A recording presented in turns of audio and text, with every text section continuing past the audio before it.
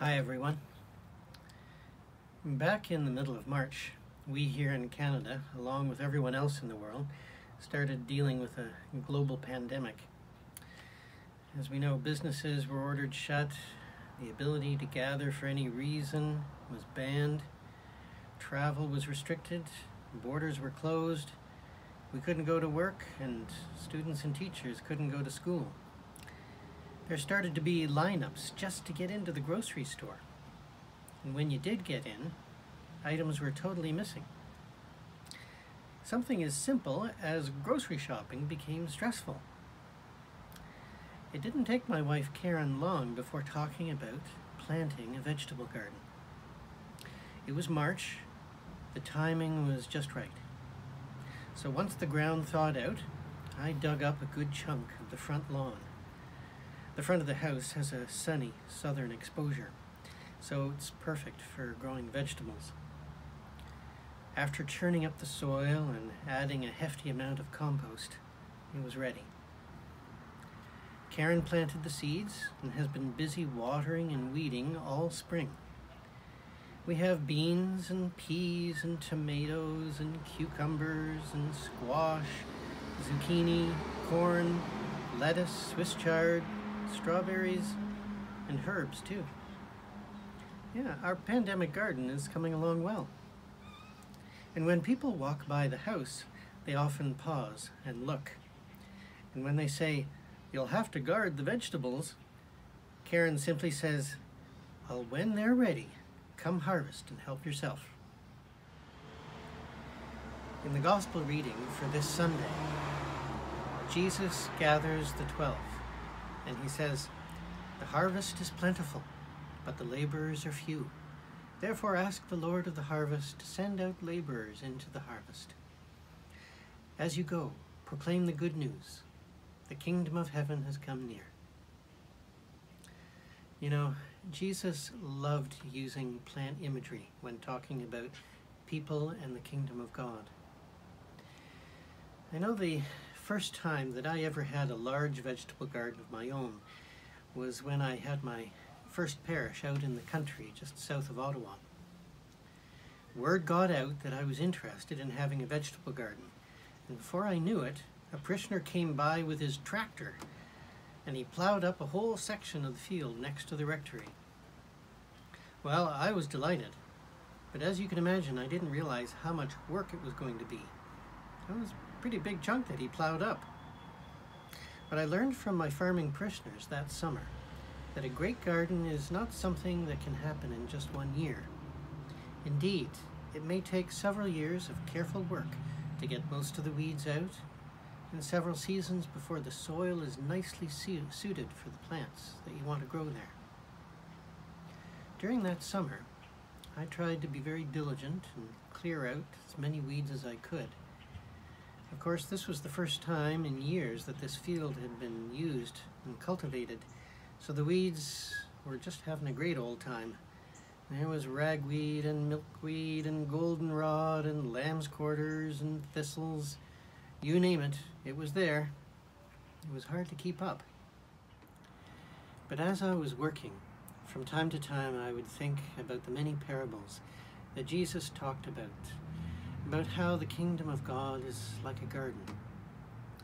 Parables about sowers, sowing seed in good soil and rocky soil, about vine tenders who prune the vines, about weeds that choke out the plants, about knowing when it is time to harvest what has been sown. So many different parables about the garden. Through my personal experience, I began to realize just how much first-hand experience Jesus must have had regarding gardening. It makes me think of the many parallels between human life and life in the garden. A young garden, freshly churned up, is filled with an abundance of weeds in order to pluck them out, it takes time and effort and commitment. If you neglect the discipline of checking the garden, then it will soon get overgrown. It becomes impossible to keep up, and then your garden bears very little fruit. Now on the other hand, after much careful weeding, the garden becomes clearer, fewer and fewer weeds pop up, and it becomes easier to keep them from ruling the garden. The garden will never be totally clear from the weeds. There will always be a seed that floats in from a nearby yard, and the area around the garden will always threaten to creep in.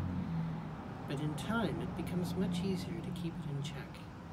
Much easier for plants to bear good and plenteous fruit.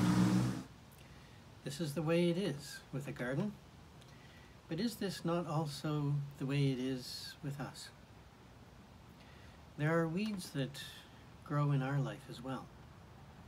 They threaten to keep us from bearing good and plenteous fruit. Do we know the names of these weeds? Can we see them and call them by name? They have names like pride, or envy, or greed, or entitlement. Pride, wanting to imagine that we are somehow more important than others. Envy, wishing we were like others. Greed, always wanting more money and more power. Entitlement, thinking that you deserve something because of who you are. These are pretty invasive weeds. If we don't tend the garden that is our soul, then these weeds, left unchecked, will easily take over and keep us from bearing beautiful fruit, fruit that we were meant to bring forth. We'll end up with lots of ragweed and thistles and not many strawberries. But of course, there's much a garden needs aside from weeding. Much that a garden needs other than what we can provide. We work away at a garden because we believe that sufficient rain will fall and that sufficient sun will shine in order for the plant to grow. We don't know that for sure, but we must believe it. In the same way, as we live life, we live with the faith that we too will receive all that we need to grow. Our needs, of course, are different. As human beings, we often feel lonely, and so we need to be loved. We often feel guilty, and so we need confession and forgiveness. We often feel uncertain, and so we need faith. We often feel discouraged, and so we need hope. As a faith community in the midst of a secular society, we try to encourage one another to name and pluck out the weeds that are around and within us. And we encourage one another to experience the faith, the hope, the love, and the forgiveness that flow to us from God and from one another.